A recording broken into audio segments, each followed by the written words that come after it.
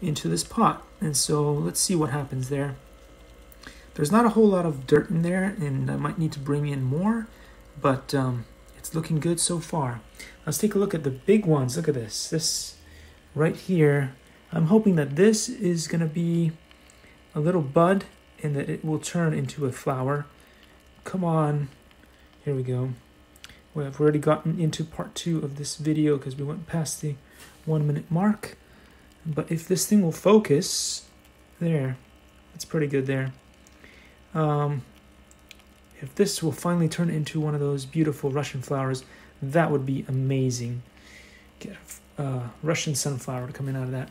And look at this. This is, is going really well too. Look at how tall it has gotten. I love that. I love that. Let's move over to the next experiment and see if everything's okay in here. And Key.